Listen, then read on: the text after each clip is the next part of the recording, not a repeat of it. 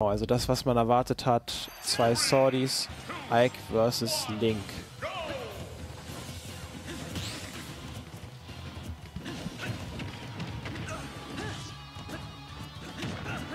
Okay, schon mal ein guter Start hier für Nice Face. Der erstmal die Wall aufbaut und jeden Angriff, der auf die Wall trifft, punished.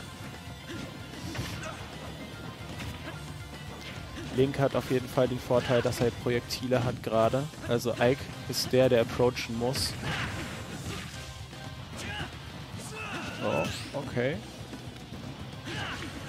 Das ist ein Set oder ein Match-Up, das auf jeden Fall auf Augenhöhe ist, denke ich. Ist die End Nice Face sehr gute Kontrahenten hier im Norden. Obwohl Nice Face viel für die Community macht, hat er auf jeden Fall auch irgendwie nicht nachgelassen. Und jetzt sind wir hier im Winners Semifinals. Hat auf jeden Fall auch eine gute Leistung. Oh, der erste Stock geht an SDN. Eine gute Leistung gegen Splash Mage, Mage gezeigt. Der da, glaube ich, 3 zu 0 besiegt hat. Oh, der Sledge Trap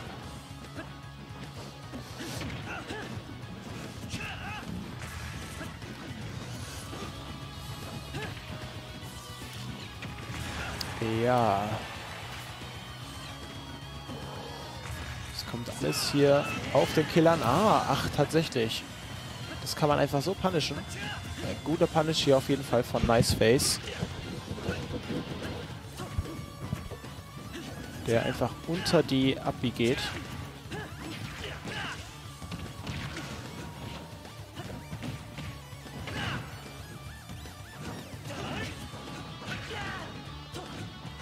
Aber 80% hier schon auf Nice Face.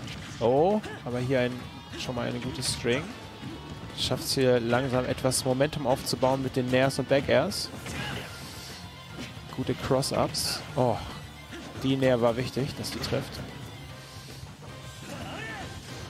Oh, und das wird hart gepunished. Die Beefy up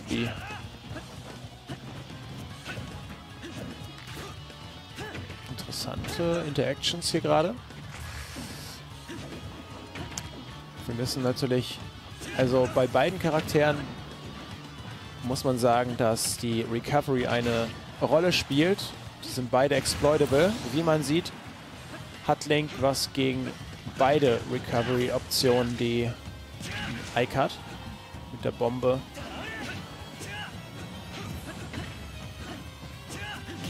Link natürlich, Links Recovery Option nicht weniger exploitable, allerdings hat er noch die Bomb Recovery und die ist dann doch sehr, sehr viel sicherer.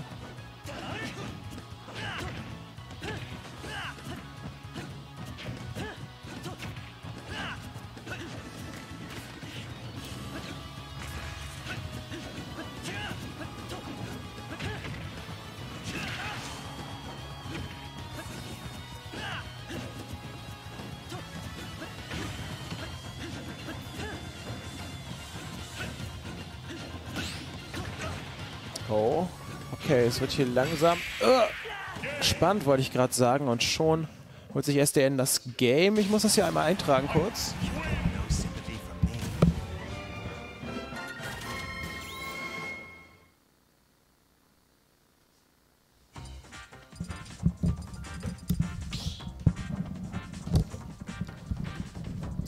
Ja, so machen wir das. Ich mache einfach beides. Gut, erstes Game ging an SDN. Es war allerdings auf jeden Fall ein spannendes Game. Ich bin auf jeden Fall gespannt, wie sich das in dem Best of Five noch verlagern wird. Schon mal hier die erste Combo von SDN. Schafft es, Nice Face Offstage zu bekommen. Auf jeden Fall immer scary, also mit Link Offstage zu sein, ist nie komplett sicher. Ja, guter Damage jetzt gerade hier von Nice Face. Oh, wow. Also man sieht, dass Nice Face auf jeden Fall Ike's Recovery punishen kann.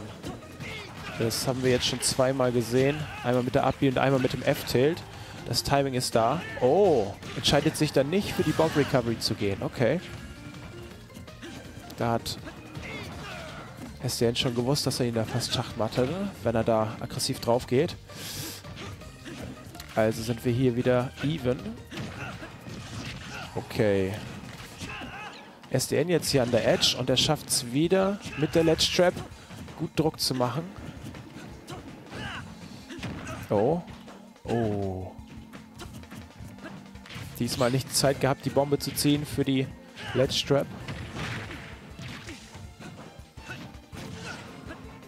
Oh. Oh, das der Early Kill. Okay.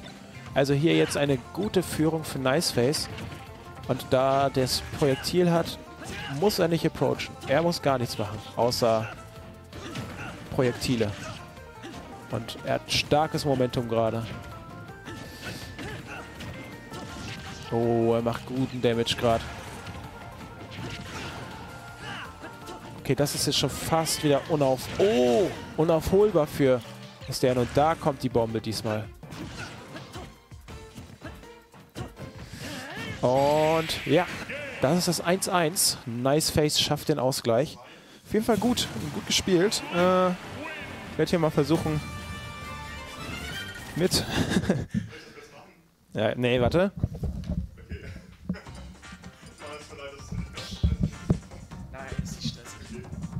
Ist nicht stressig. Ah.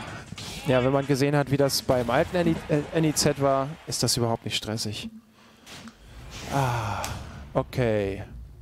Ja, also es steht 1-1. Auf jeden Fall ein gutes Set. Nice Face gut aufgeholt diesmal. Man hat auf jeden Fall gesehen, wenn die Lead da ist, dann ist das auf jeden Fall noch was ganz anderes. Ich muss mal kurz Headset wechseln.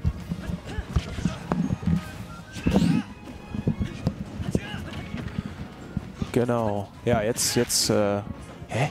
Das andere nicht funktioniert? Ja, jetzt höre ich mich auf jeden Fall. Gut. Also, wir sehen hier wieder eine leichte Lead für Nice Face. SDN gut gewartet, um nicht von der Bombe getroffen zu werden. Oh, interrupted. Kann aber nicht den Air Dodge punishen. Und SDN ist wieder safe on stage. Lässt sich hier auch nicht einfach gimpen easy, for free. SDN versucht auch gar nicht, die Nairs zu punishen. Also die sind sehr, sehr schwer zu punishen, wenn überhaupt.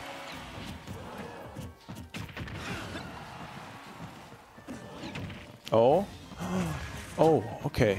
150, 170 Prozent jetzt schon hier auf, auf Ike. Oh. Oh, ein Down Tilt into Up Air. SDN also wieder mit der Führung. Aber 180 Prozent. Mal schauen, wie lange er das halten kann. Er kann schon mal guten Damage hier machen mit der Up-B.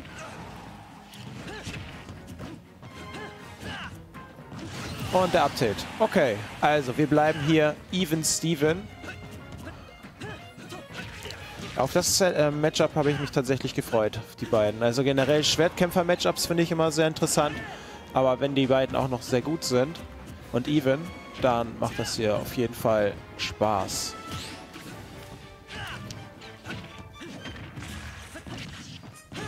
Oh. Sauber.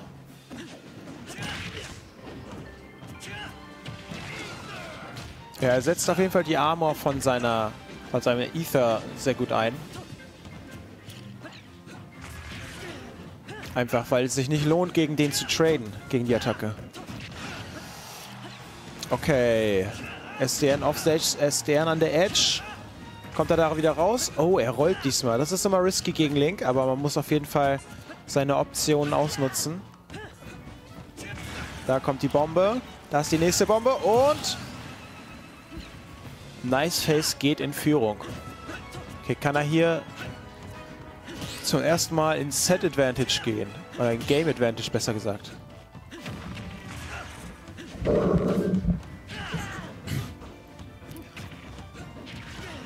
SDN auf jeden Fall am Scharken gerade, aber schon sehr viele Prozente gerade auf Link drauf. Genau, Down Tilt. Oh! Okay, Forward erklärt. Bei den Prozenten muss man dann, glaube ich, tatsächlich den Down Tilt kriegen, um den Confirm zu bekommen. Da hilft dann keine Näher mehr. Da kannst du nur noch so Frame-Traps draus machen oder readen.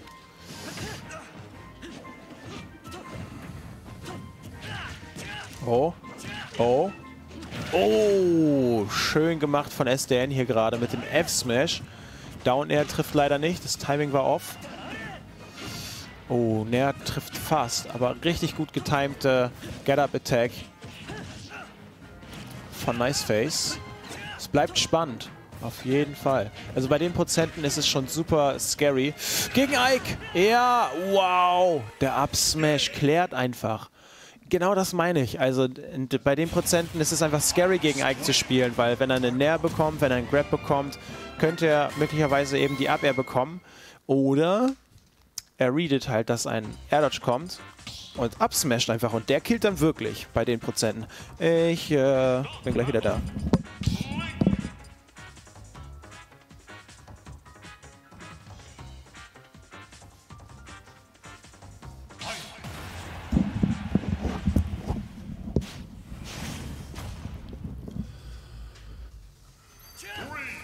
So, wir sind hier jetzt in Game Nummer 4. Schon mal eine gute Chance hier gerade für SDN, den Sack zuzumachen. Oh, da hat er gerade patient gewartet, aber leider nicht die Reaktion gehabt, um zu punishen. Okay, guter Punish. Für Niceface ist es im Moment sehr wichtig, SCN an die Edge zu bekommen. Ich glaube, das ist so seine beste Chance. Oh, oh, okay. Das war risky von SDN. Und mal schauen. Jetzt ist er nämlich an der Edge. Und er hat seinen Jump noch. Okay, er hat immer noch einen Jump. Aber man merkt, also dann kann er halt nicht so gut Aggression zeigen, sondern er muss irgendwie zurück on Stage kommen, auch in die Mitte der Stage. Schafft er aber nicht. Nice Face mit dem F-Tilt. Kommt ja, geht ja also in Führung. Und das ist wichtig. Wenn er jetzt irgendwie den Stock halten kann. Oh! Das wäre wichtig gewesen für Nice Face jetzt gerade. Aber auch so, jetzt geht es erstmal ums Damage machen wieder. Und ich glaube, da hat Nice Face einen leichten Vorteil. Einfach weil SDN erstmal an ihn ran muss. Oh, da war der Boomerang schon draußen und da gibt es natürlich erstmal eine Combo-Opportunity. Äh, SDN macht das gut, er baitet auch gut mit dem Uptilt. Also ich glaube, da war wirklich einfach kein, kein Grund, diesen Uptilt zu machen, außer jemanden reinzubaiten. Und das hat auf jeden Fall seinen Sinn erfüllt. Und da war wieder SDNs Dash Attack. Sein Signature Move, würde ich schon fast behaupten. Oh. Okay.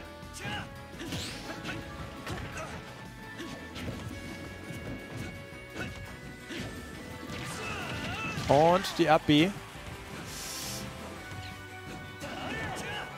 Die Bombe ist schon draußen. Das kann gut sein, das kann schlecht sein. Jetzt auf jeden Fall gut. Und, oh, oh, okay, zu früh. Zu früh eingesetzt.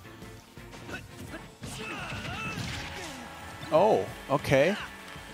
So, mal sehen. Wieder die gleiche Situation. Es ist sehr wichtig für Niceface jetzt etwas Damage zu machen.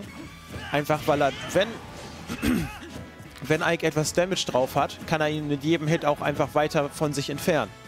Also wenn er bei 60% eine Nähe abbekommt, dann fliegt er auf jeden Fall weiter. Das heißt, er kann dann wieder mehr mit Projektilen machen. Aber die Dash Attack, ja. Und das ist genau das Ding. Also Dash Attack, Wide Range, Punish. Und wenn man dann gerade so versucht, eine Side-B rauszubekommen, dann kann man natürlich einen abbekommen. Es ist also Last Stock. Möglicherweise der letzte Stock für Niceface, außer er kann hier gegen SDN den Ausgleich erzielen. Oh.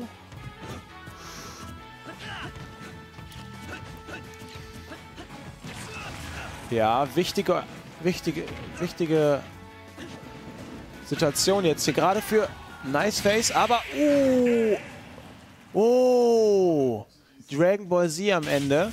Aber die Down Air kommt nicht gegen die Up Air von SDN an. Und wir sind im Winners Finals mit SDN gegen